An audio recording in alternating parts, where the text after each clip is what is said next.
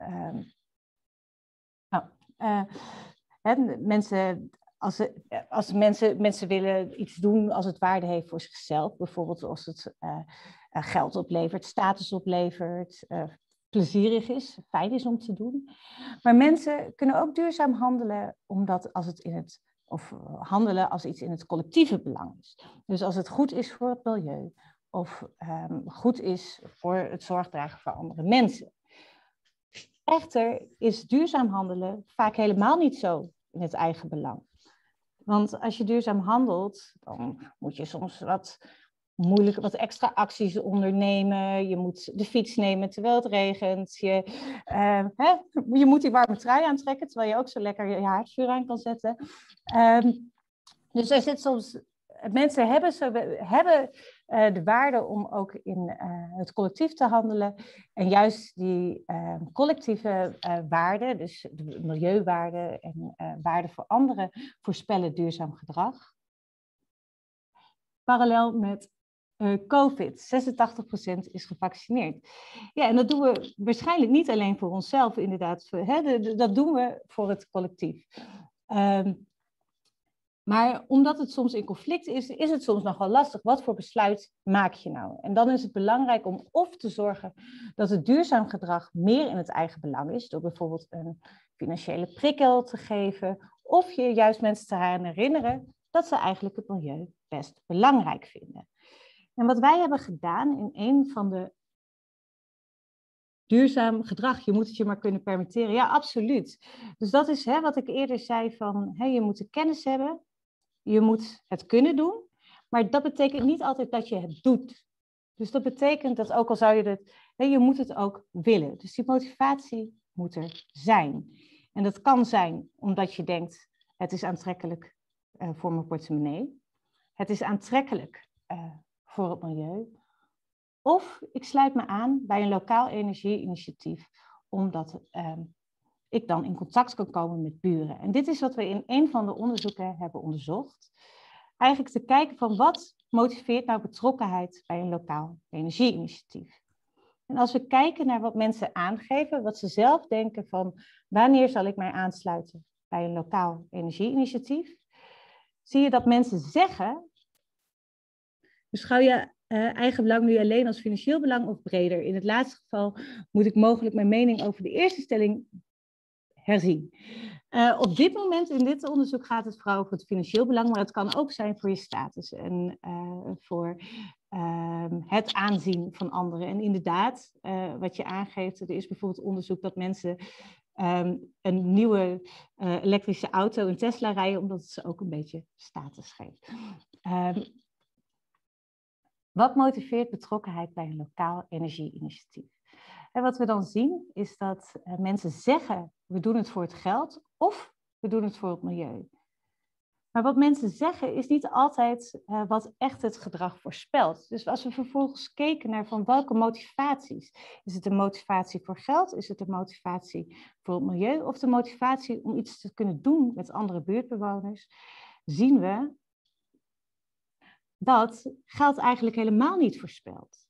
En dat het juist die duurzame, de, de milieumotivatie is en de motivatie om iets te kunnen doen met de buren, hè, betrokken zijn bij de buurt, dat dat belangrijke voorspellers zijn voor, om mensen, voor mensen, dat mensen betrokken raken bij lokaal energieinitiatief. Um, het voorspelt interesse die ze hebben om te willen aansluiten. Het, het voorspelt het verschil tussen of mensen lid zijn of niet. En het voorspelt de mate waarin mensen ook zich identificeren met het initiatief. En dat lijkt soms tegenintuïtief. Maar financiële prikkels, ook al zien we dat um, lokale energieinitiatieven of de buurkrachtinitiatieven in dit geval die we hier hadden onderzocht, dat in heel veel flyers eigenlijk de grootste nadruk legt op uh, samen energie besparen is goed voor de portemonnee. Want we denken vaak dat ik misschien wel uh, goed wil doen voor het milieu, maar dat anderen toch meer gemotiveerd zijn voor hunzelf. Dus we kunnen maar beter de nadruk leggen op het geld. Maar dit lijkt niet te werken, of het lijkt in ieder geval niet voorspellend direct waarom mensen zich aansluiten. En waarom is dat nou? Want aan de ene kant hebben mensen wel de mogelijkheden nodig, wat uh, al eerder werd aangegeven in de chat. Maar vaak zijn die, die winst die te behalen is, of hè, het financiële plaatje, vaak niet groot genoeg om dat mensen het de moeite waard vinden om uh, daar, daarnaar te gaan handelen. En het lastige is dat als je inzet op financiële prikkels, dus een boodschap geeft of samen energie en geld besparen, dus je legt een nadruk op het geld, is dat mensen dan ook sneller gaan denken dat ze handelen voor het geld, waardoor ze um, niet uh, gemotiveerd zijn om verder duurzaam te handelen.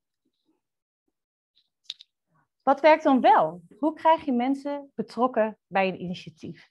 En in een grote uh, studie waarin verschillende uh, sociale beïnvloedingsstrategieën werden vergeleken, um, bleek dat een van de meest effectieve manieren is de blockleader approach. En dat is de benadering waarbij mensen uit de eigen buurt bij de deur langs gaan, aanbellen en vragen of mensen uh, mee willen doen. Of ergens aan mee willen doen. Dus dat betekent dat vaak een flyer alleen niet genoeg is, maar dat het echt gaat om het interpersoonlijke contact wat je hebt met de buren.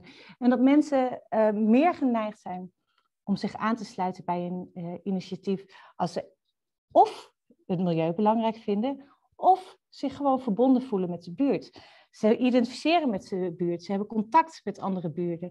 De energieambassadeurs gebeurt al best veel. Ja, zeker, Ilke. En dat, dat, dat, dat is ook echt gebaseerd ook op, um, nou ja, op dit soort inzichten. Um, maar soms ook, hè, soms zijn intuïties ook gewoon goed. En weten we ook zelf al van, ga, hè, als we nou met de eigen buurt aan de deur trekken, dan werkt het wel. Terwijl energieambassadeurs zijn trouwens niet altijd uit de buurt. Soms wel, maar ik weet dat ook van, uh, bij sommige collectieven of bij sommige, uh, bijvoorbeeld vanuit uh, werd er ook gedacht over gewoon adviseurs aan de deur te hebben laten gaan. En niet per se mensen uit de eigen buurt. Maar wat we zien is dat juist als het iemand is uit de eigen buurt, dat dat meer effectief is. Dus er is ook onderzoek gedaan naar als ehm, iemand aan de bel trekt en die komt uit de buurt ernaast of uit deze buurt uit de buurt ernaast heeft minder invloed dan als het uit de eigen buurt komt. Um, ook het taalgebruik. Dus als je zegt wij uit deze buurt, maakt verschil dan als je uh, je niet, niet de nadruk legt op dat gedeelde uh, uh, groepslidmaatschap wat je met elkaar deelt. Zie de buurtwaarde zijn moeders in Rotterdam. Ja, zeker. Ja, dat is een mooi voorbeeld inderdaad.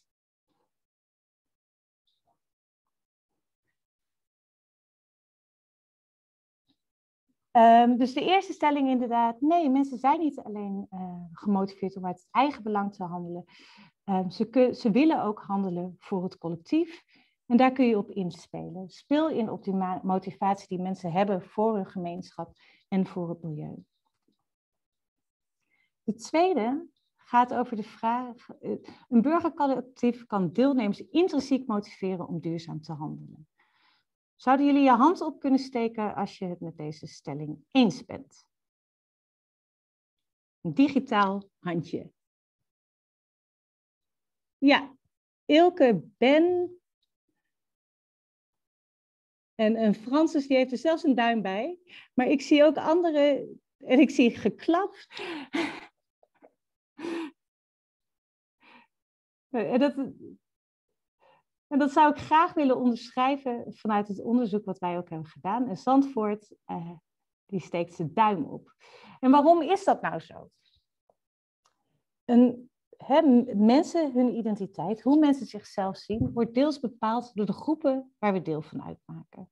Groepen vormen een belangrijk onderdeel van onze identiteit.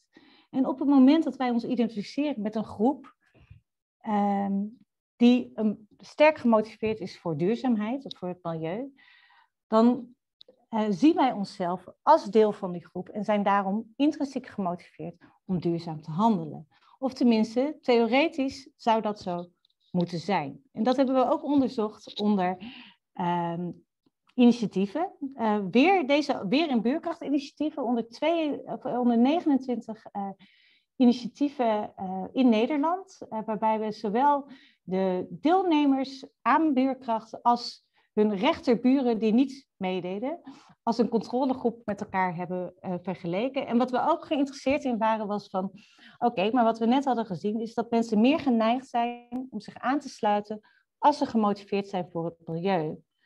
Dus voegt het dan nog wat toe als je dan betrokken raakt bij het milieu? Of zou je eigenlijk ook in je eentje al wel duurzaam handelen? En wat we vinden is dat als we dus rekening houden met die eigen motivatie, of die, die eerste motivatie die mensen al hebben om duurzaam te handelen, de mate waarin ze milieuwaarde hebben, uh, zichzelf zien als iemand die heel duurzaam handelt uh, en het, energiebesparing heel belangrijk vinden, ook al houden we daar rekening mee, zien we dat deelnemers hoger scoren op allerlei verschillende energiegedragingen en intenties.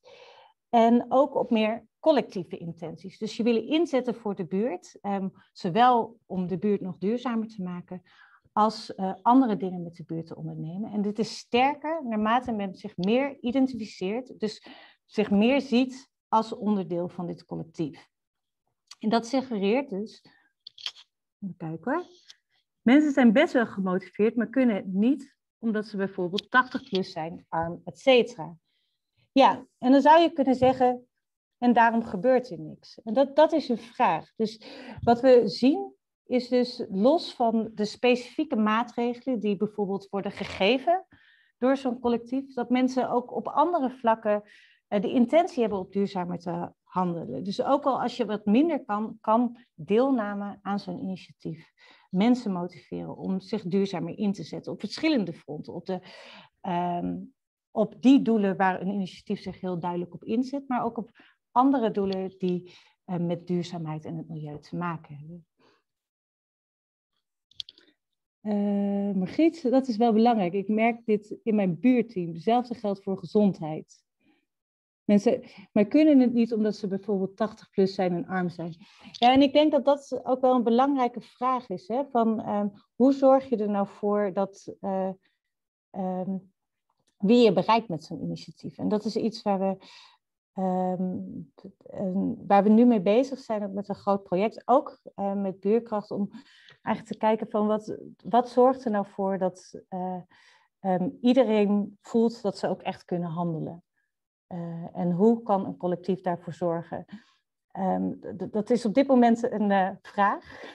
we hebben wel ideeën, maar daar, ja, daar zijn we op dit moment mee bezig met buurkracht, maar ook met grote ecodorpen in Europa om daar verder naar uh, te kijken. Kijk, en dit zou ik ook even willen laten zien. Wat maakt het nou uit dat het echt van uh, de, de buurt zelf komt? Dat zo'n initiatief echt vanuit de buurt zelf komt. Dus oftewel van onderaf gevormd.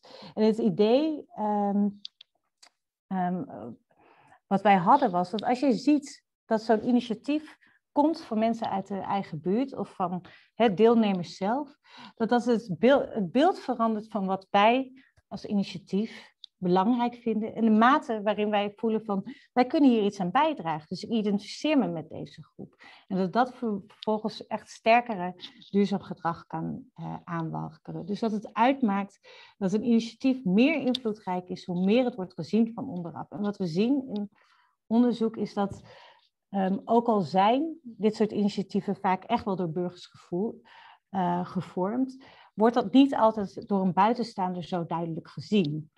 Um, dus hè, in hoeverre wordt een initiatief echt gezien als komend vanuit mensen uit deze buurt zelf? Hoe sterker dat wordt gezien, hoe sterker uh, de waargenomen normen voor duurzaamheid binnen het collectief en hoe sterker identificatie met het initiatief. We hebben in verschillende contexten Oh, oké, even sorry. Ik merk dat hetzelfde geldt voor gezondheid. Bedoelde ik niet enkel milieu, duurzaam, maar ook zorg. Ja, en dat is wat ik eerder bedoelde. Van ik denk echt dat uh, deze inzichten uh, ook relevant zijn voor uh, initiatieven die zich op hele andere vlakken willen inzetten. Hè, vervang duurzaamheid eh, met gezondheid, met zorg, met. Um, nou, wat uh, hebben we nog meer? We hebben genoeg. Onderscheid wie verzint wat er anders kan worden en wie gaat er als jou. Dat laatste heeft lokale kern of vitale kern. Ja, en kijk, en wat wij in het onderzoek hebben gedaan, uh, ik heb het hier in het Engels uh, laten zien, maar dat we eigenlijk hebben gekeken zowel de perceptie van, komt dit nou van bewoners zelf, als de mate waarin in dit geval um, is de, ene, is, um, sorry, de energie, de, DS, de district, de, is een nexus, um, wordt gezien als uh, degene die invloed heeft op dit initiatief. En wat je ziet, is dat vooral hè, als het wordt gezien als van het komt uit de eigen buurt, dan wordt er, gezegd, wordt er gezien van goh, dit initiatief um, heeft sterke duurzame normen. En het versterkt de identificatie met het initiatief en daarom duurzaam handelen. Kijken, nu ben ik mijn. Jullie zitten nu voor mijn vervolgscherm. Ja. Dus uh, burgercollectieven kunnen deelnemers intrinsiek motiveren. En vooral als zo'n initiatief echt goed wordt gezien en waargenomen als komend uit de groep zelf. Ik zit even, het scherm heeft bewogen. Oh ja, zo. Maar ja, is dit, deze invloed dan beperkt tot mensen die deelnemen? Vanuit hetzelfde principe dachten wij van mogelijk is die invloed veel groter. Mogelijk verandert het ook onder mensen die niet deelnemen. Als jij ziet dat er zo'n initiatief ontstaat binnen je eigen groep, ook al is het door anderen opgezet, ook al doe je er zelf niet aan mee, verandert het de waarde wat wij als buurt, als groep belangrijk vinden. En het zien van anderen uit je eigen groep die iets aan de groep bijdragen, kan ook um, identificatie vergroten en daarom duurzaam gedrag versterken. En dit onderzocht bij verschillende contexten. Eentje was mogen we niet echt een burgercollectief uh, noemen, maar dit was een, uh, laten we zeggen, een uh, medewerkersinitiatief, waarbij een groep medewerkers binnen Philips hadden bedacht dat ze eigenlijk Philips wel wat groener wouden maken en mensen binnen Philips wouden motiveren om meer duurzaam te handelen. En we keken naar de mate waarin dit initiatief werd gezien als echt vanuit de medewerkers komend en of um, komend vanuit het management van Philips.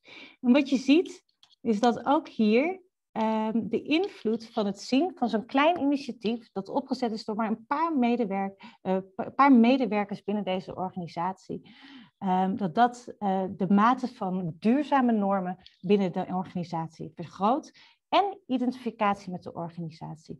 En daardoor het, duurzame gedrag van medewerkers uit de organisatie uh, stimuleert. En ik zie dat ik nog drie minuten heb. Klopt het dat hoe meer mensen meedoen, hoe meer de context verandert en daarmee invloed heeft op degene die niet meedoen? Ja, dat vind ik dus een hele lastige vraag. Want uh, als we kijken naar identiteitsvorming, um, dan laat onderzoek vaak zien dat identiteitsvorming makkelijker gaat in kleine groepen. En vooral als je het hebt over uh, de van onderafvorming en die, dat, dat mensen ook echt invloed kunnen hebben op de groep. Die invloed die wordt kleiner als de groep groter wordt. Waardoor mogelijk dus het effect op identiteitsvormen, het vormen van een gedeelde identiteit, kleiner wordt. En daarmee mogelijk de grootte van de impact uh, op mensen of de, om, de motivatie om mensen dan aan te sturen om duurzaam te handelen kleiner wordt. Neemt niet weg dat als mensen deelnemen, ze automatisch al meer gemotiveerd zijn dan mensen die niet deelnemen. Klopt het? Even kijken hoor. Uh, goede vraag. Ik vraag de mensen wat. Oh, het gaat heel snel. Oké, dag uh, Renze zou ook een output kunnen ontstaan? Ja, en dat is inderdaad een vraag waar wij nu uh, heel erg mee bezig zijn. En dat is vooral het risico als een initiatief te homogeen is en niet representatief van de buurt. Kan het dan zijn dat zo'n initiatief uh, mogelijk uh, polarisatie in een buurt kan veroorzaken, waarbij degene die wel duurzaam handelen of die zich vertegenwoordigd voelen door de mensen die zo'n initiatief hebben opgezet, wel gemotiveerd worden om duurzaam te handelen, terwijl zij die um, zich minder gerepresenteerd uh, voelen, ge, uh, ja, eigenlijk gedemotiveerd worden om duurzaam te handelen, omdat ze het gevoel hebben dat dat initiatief helemaal niet uit hun groep komt. En dat is een belangrijke vraag. Van, hè, van wat is het risico? Kan het zijn dat onder sommige omstandigheden deze positieve effecten niet uh, op alle, op de gehele buurt effect hebben, maar alleen op zij die zich ook gerepresenteerd voelen door het initiatief? Nou deze wou ik nog heel kort. Uh, dit is, uh, een heel, was ooit een heel kleinschalig initiatief in uh, Estland. waarbij ze samen de troep in de buurt gingen opruimen. En het werd steeds groter en groter. Op dit moment is het een wereldwijd initiatief. Maar het is ooit begonnen in Estland. En wat we hadden gekeken is van, stel dat je mensen nou herinnert dat dit een klein initiatief was wat kwam, dat was opgezet door een paar Estlanders. Wat we dan ook zagen was dat dan ook weer hè, het gevoel van dat wij Estlanders vinden het milieu belangrijk vergroot werd. En dat ook identificatie met het Estland, Estlander uh, zijn vergroot werd. En dat dit weer voorspelde of uh, um, Estlanders duurzaam bouwen handelen. Dus dit is een initiatief wat klein begon, maar heel groot is uh, uitgegroeid. Het is zo kort. Even de laatste uh, conclusie, denk ik. mensen willen sluiten zich aan bij burgerinitiatieven omdat ze geven om het milieu en ze geven om de gemeenschap. En daarmee kunnen ze deelnemers en niet-deelnemers motiveren om duurzaam te handelen. En daarmee kunnen, denk ik, kleine kleine initiatieven toch veel grotere impact hebben. Dus het is niet alleen kijken naar wie sluit zich aan, maar ook hoeveel invloed hebben ze dat. Nederlanders zijn geen ads, vrees ik. Nee, maar het, eh, op dit moment lijkt het alsof er heel wij in Oost-Europa nog heel weinig van dit soort uh, collectieven zijn. We zijn nu met uh, mensen in Polen bezig om ook te kijken van waarom zijn er geen energiecollectieven in Polen? Hoe komt dat?